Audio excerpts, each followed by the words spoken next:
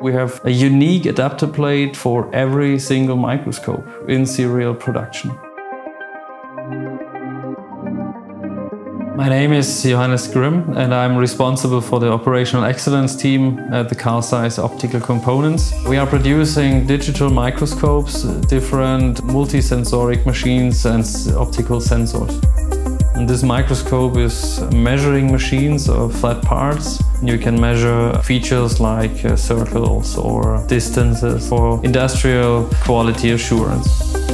The adapter plate in the digital microscope is used to align a specific foil uh, which is necessary for a very good measurement because every foil is unique and therefore every microscope has a unique 3D printed part inside.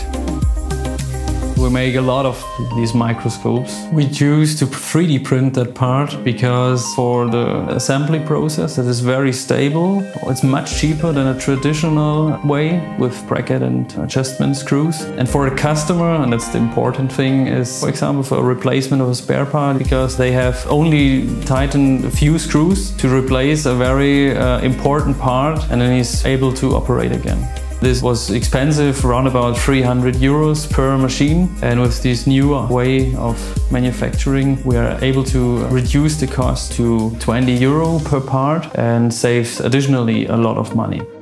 With the help of 3D printing, we are able to decrease the lead time from months to days. Because of these decreased lead times, you are able to do more cycles and therefore the quality is also increased. Also Ultimakers choose because the, these machines are reliable and the results are repeatable. That's important for us for a stable production process.